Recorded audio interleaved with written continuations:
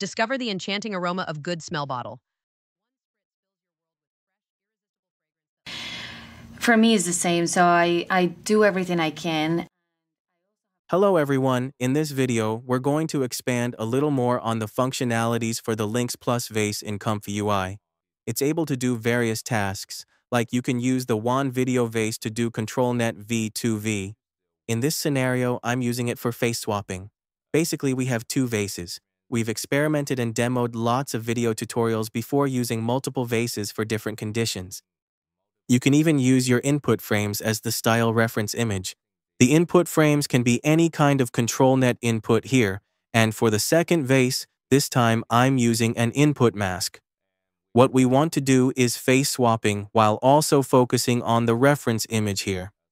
As you can see, the input frames have a white region covering the source video, specifically masking the area we want to work on. So, in this demo video, this is stock footage, a close-up shot of someone doing a selfie flicking their phone, right here. You can see that their fingers sometimes cover the face in certain frames. Most of the time, when you use older methods like reactor face swap or other face swap techniques for video, you'll notice flickering whenever something overlaps the face. But here, because we're using the Lynx model connected with VACE, we can identify the Face ID like we talked about in the last videos. We use Lynx to prepare the face data for the Face ID, then mask the area we want to swap in the video, and finally apply the new face on top of that.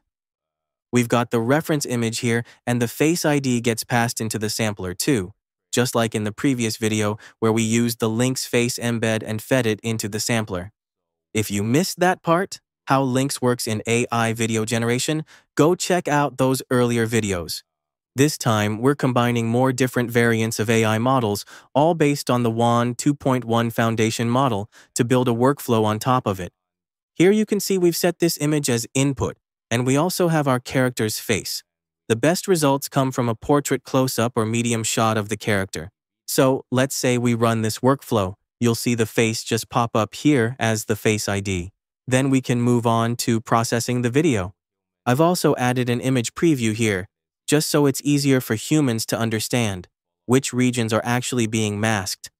I'm using Segment Anything here, and I've masked the face and hair regions from the reference video. That means we're going to use this character's face as the reference. Okay.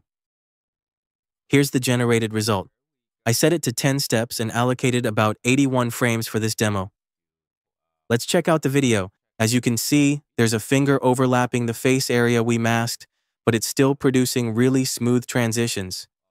This is a face swap, and it's doing way better than older methods, Frame by frame or image by image face swaps usually cause flickering, and the faces don't stitch together nicely across video frames. Tools like Reactor Face Swap can work well for static images, but when you're dealing with coherent styles and video consistency, it's much harder to replicate a face that actually blends in naturally. Older methods often just crop and paste, which doesn't match the style or lighting or if you used WAN 2.1 VACE only for face region masking, and most of the time, it won't generate consistent character face.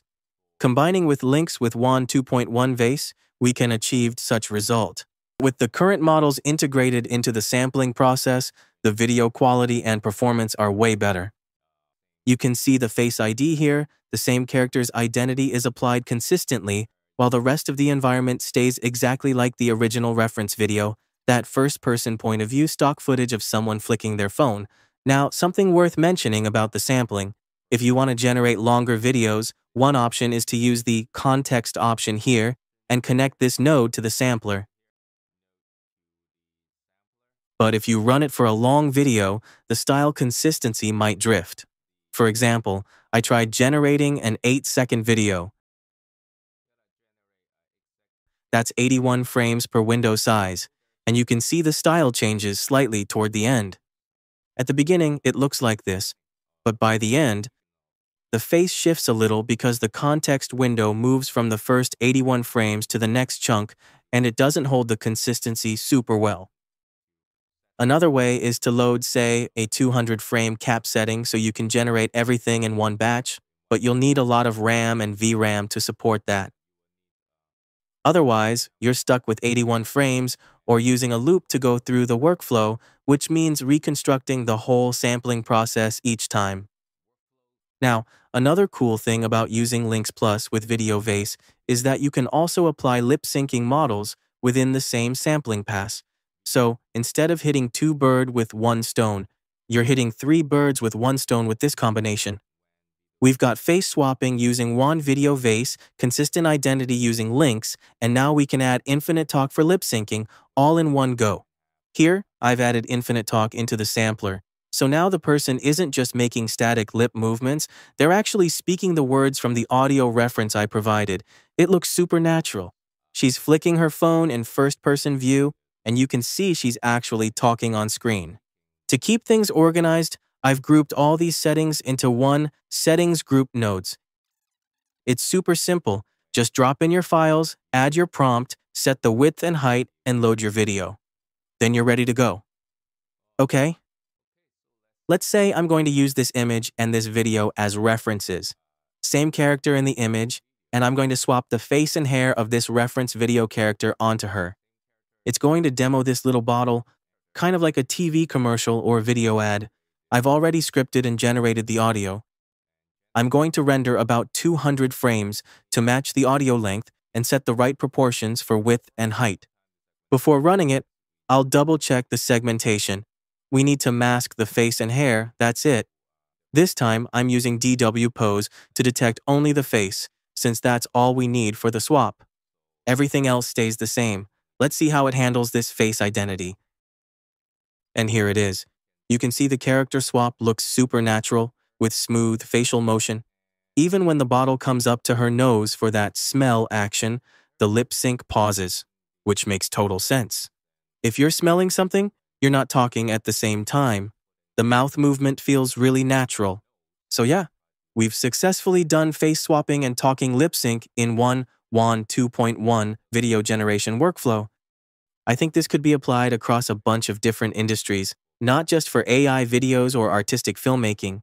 Think about UGC video ads, those super common ones on Facebook, Instagram, and other social media. This would work perfectly for that. Of course, it's also ideal for typical AI video use cases, like when you generate a story and your character can't just sit there silently. They need to talk with natural lip movements that match the dialogue.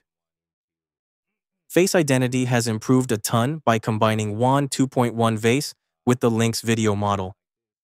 It's a really solid solution for character consistency and interactive motion in videos. Discover the enchanting aroma of good smell bottle. Alright, that's it for this video. Have a nice day. See ya.